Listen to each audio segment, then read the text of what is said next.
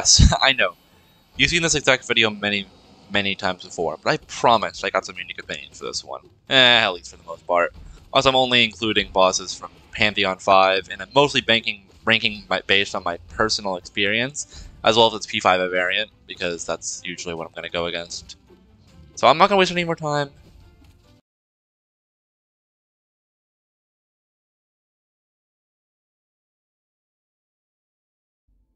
Forty-two, massive moss charger, D tier. I'm there's nothing really to say that you haven't heard a million times.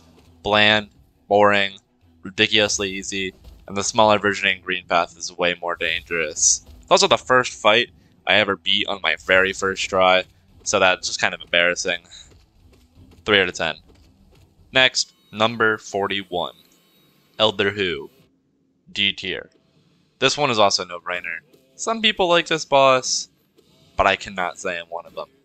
His only saving grace is his non-existent HP count, but even with him teleporting away, makes me want to throw my keyboard into a blender. Needless to say, I'm not a fan of teleporting bosses, and that will be reflected on this list. 4 to of 10. 4 out of 20. Number 40. Winged Nosk. D tier. Oh my...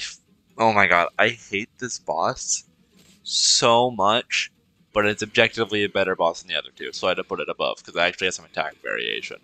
But oh my god, this guy is just Vengefly King, except he's more annoying, because he just throws his goons at you, and it just, it's just, it's, I don't even know what to say. 4 out of 20. Number 39, Uumuu, D tier. Once again, this is a pretty popular opinion, but it cannot be understated how annoying of a mechanic waiting for a boss to do one of its couple of attacks is, just so why you can uh, start attacking it. I, mean, I like the concept of having to make the boss vulnerable first. It's a very like, Mario-esque style, but oh my god, this fight is so annoying. Especially because if you mess up once, you take double damage for it. So it's just annoying. Uh, the only saving grace of this boss is that you can just kill it pretty quickly once you get it once, or maybe twice if you're not having a good day. Uh, yeah, this thing is annoying as hell. 5 out of 20. Number 38. Marmu. D tier. Yeah, Marmu's annoying as hell. Like, who genuinely enjoys this boss? Is there any Marmu defenders out there? Is there one? I, I would I would like to see them. 5 out of 20. Number 37. Oblobbles. D tier. These lovers are very, very annoying. Like, very. Like, yes, yes, annoying much. Yada yada. These two are actually one of the five bosses I have not beaten on Radiant yet. Just because I have absolutely no patience and I can't be bothered to beat these annoying pieces of crap. Cringe Balloons, 6 out of 20. 36. Soul Warrior, C tier. Okay, we've gone to the point where I don't dislike the bosses anymore. This guy's actually a pretty good mini boss, although, uh, like everybody else says, what is he doing in P5? Literally, why is he here?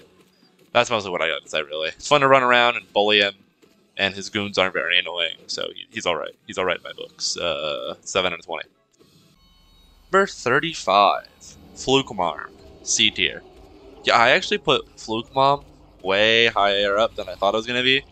This boss is actually pretty fun to learn how to kill fast, and it actually holds a special place in my heart for being the boss that made me rage quit the game for 9 months because a Hollow Knight player made fun of me for not being able to kill it.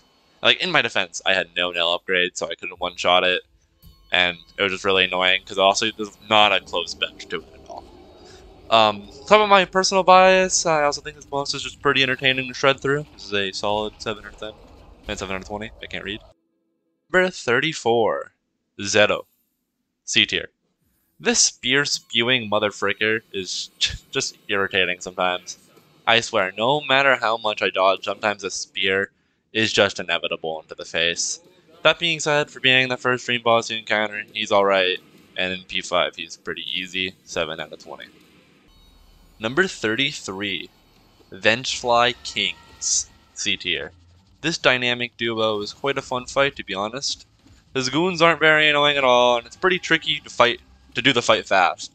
And if you couldn't tell from my playstyle from the footage, I go very, very, very fast. So this fight is definitely an easy to learn, hard to master kind of fight. 8 out of 20. Number 32. Gruzmother. C tier. An easy fight. Ugh, I can't talk. An easy fight that goes by quite quickly. Yet again, it's fun to do fast, and it's a very tight gap to get through all the spikes and, of course, Gruzmother herself and not get yourself hit. 8 out of 20. Number 31. No Eyes. C tier.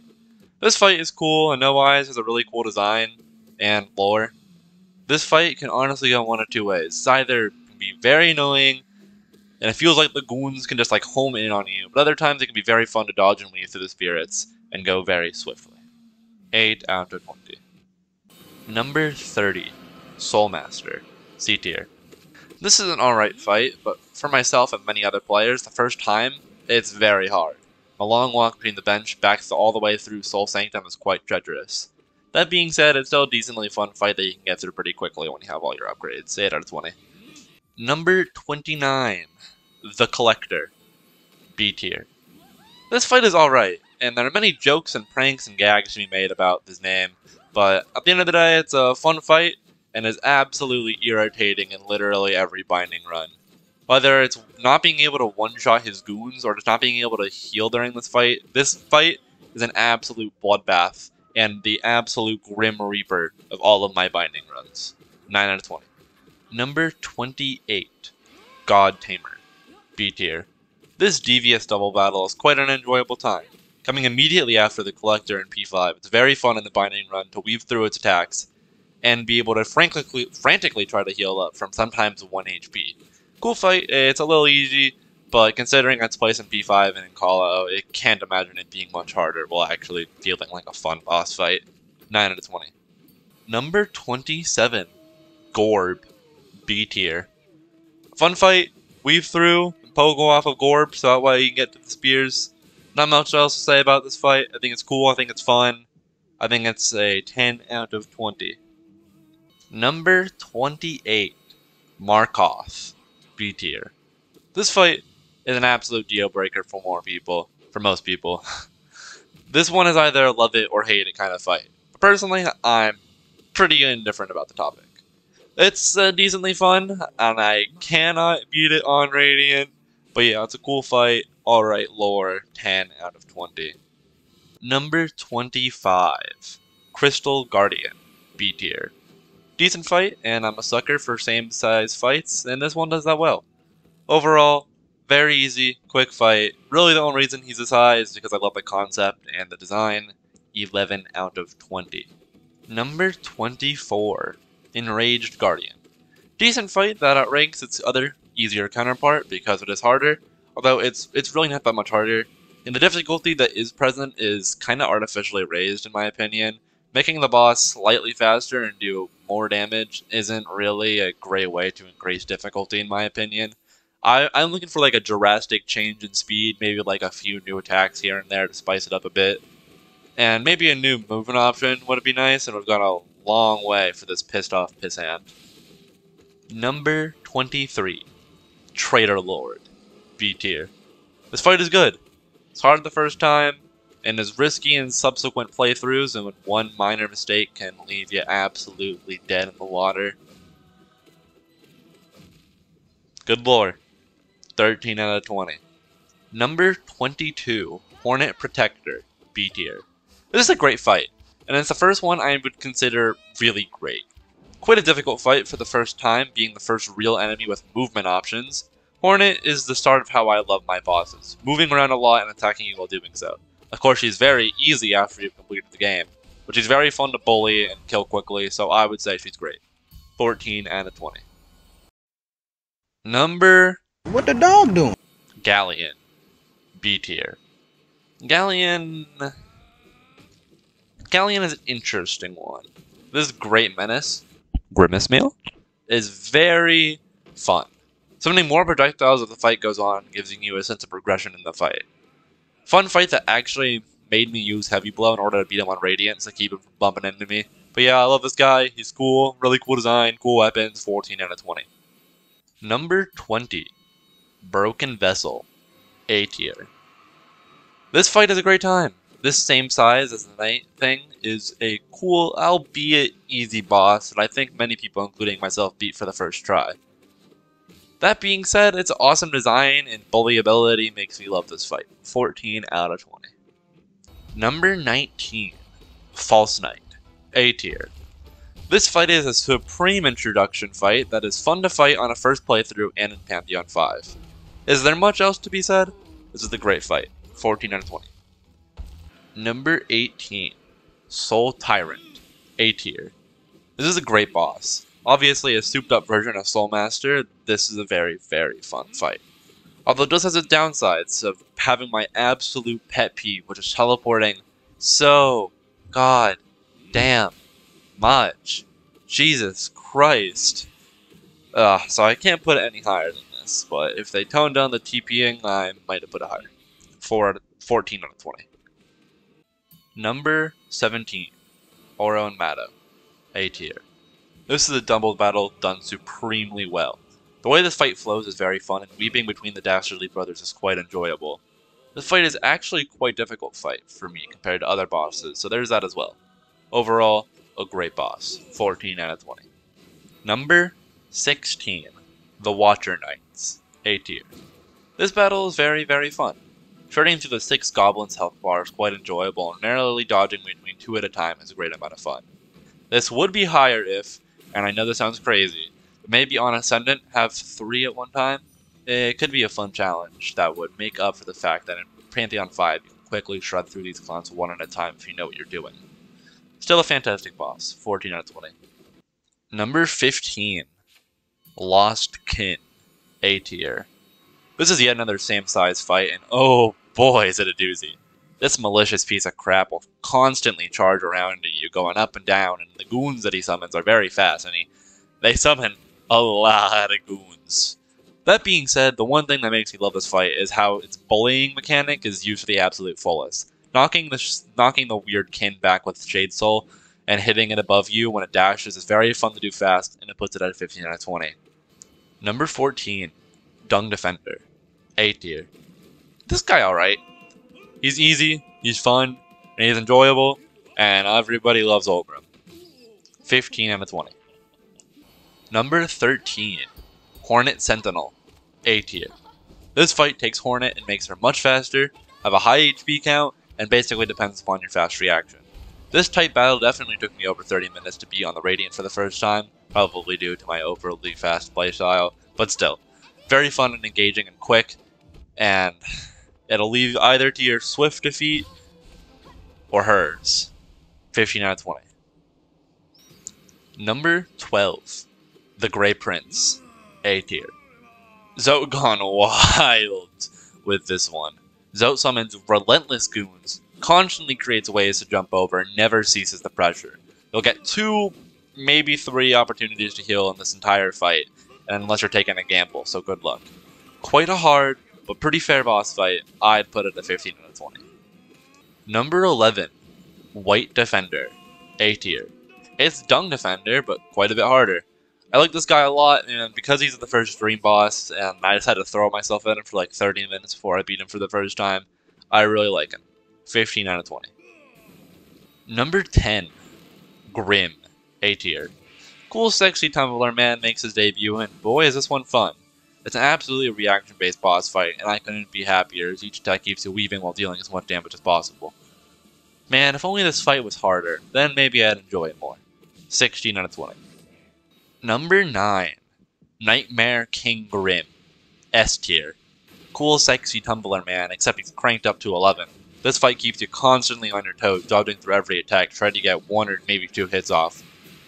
Meanwhile, every single mistake costs double the price. I actually really love this fight, but uh, as you can tell by my lower ranking of it, I'm not as much a fan as the, as the other people. Honestly, I prefer the modded version Inferno King Grimm. But this fight is still fantastic, make no mistake, and god damn is that that, that soundtrack a banger. 17 out of 20. Number 8. Brooding Mawlek. S tier. Okay. You guys probably thought I forgot about this weird beetle, but I in fact didn't. I just love this fight. This is the perfect early game boss fight to practice with no equipment, and it is the perfect end game boss fight to keep you on your toes while weaving through its attacks. Add on top of that, the cool lore and killing Piso, and you have the recipe for probably what is my favorite early game boss in any video game. 18 out of 20. Number 7, Hive Knight. S tier. Now this nail on nail battle I can get behind. The biggest crime in this game is that there's no second harder version of Hive Knight. Because do I love this guy in this cool cool fighting style. Bro literally encapsulates teleports behind you. Nothing personal, kid. And his goons that he swarms are actually pretty fair, although they are a little bit annoying and they're pretty hard to dodge. But this fight is absolute bliss. I love it. 18 out of 20. Number 6, Nail Sage. S tier. This guy looks a little bit too much like Baby Yoda at first, but don't let that fool you. This man will absolutely put your positioning skills to the test in a way that I don't think any other boss in Hollow Knight does. Once again, as a pattern that's easy to notice, I love fights where bullying is the main mechanic, and waiting for this guy to start his three attack and using Shade Soul to put him back ensures your safety, and I think that's really fun. And just weaving in and out of his attacks, pogoing off of him sometimes to make sure you can get a hit in or two all the while you're avoiding his gigantic sweeping attacks. This fight is an absolute masterpiece. 18 out of 20. Number 5. Paintmaster Sheo. S tier. This is a super fun fight, and it's also very unique from all the other ones. His paint telegraphing his attacks is a super cool, creative, and fun mechanic. The only reason this fight isn't higher is because it's a bit on the easier end. 18 out of 20. Number 4. Sisters of Battle. S tier. This fight is a very fun one. I actually discovered two new attacks during this when, when I was recording for this video because I was playing like an idiot. They went on the walls hella weird if you're watching. But yeah, there's not much I can say about this fight that hasn't been said a thousand times. It's absolute masterpiece. It is the epitome of dodging and weaving between attacks in this game. 19 out of 20. Number 3. Absolute Radiance. S tier. Now this is a final boss fight. An epic climactic fight where you literally ascend to kill God, pulling off an absolute FMAB shit, and I'm here for it all the way. This fight is ridiculously fun to work, to play, as risky as you possibly can, and I don't think there's a fight that I've played more in this game, just because of how fun that is. 19 out of 20. Number 2. Failed Champion. S tier. Now, this is a way to revitalize the first boss in the game. Shredding through this guy's HP bar as quick as you can, but one mistake can easily make or break your run. The only reason this fight isn't a 20 out of 20 is because of the cheese tack that gives you infinite soul every one third of the fight. Other than that, I honestly think this would have been a perfect 20 out of 20 because, oh my god, this fight so enjoyable and is like one of the only two fights in this game that actually gives me anxiety during my P5 runs. 19 out of 20. Number 1 pure vessel. S tier. Okay, I know this guy teleports, but this fight is just too good. And I, I know this isn't a unique opinion at all, but god damn is this fight good. It takes the first final boss you fight and makes it hell, but it is so satisfying and rewarding to pull off. Standing atop the Pantheon in the night, this fight goes so unbelievably hard. The music, the way every single attack crescendos to the epic climax, when you're finally able to scrape by and you hear the screech that pierces the heavens as God frowns upon you for your hubris, an absolute banger of a fight, and my favorite fight in literally any video game. Period. 20 out of 20.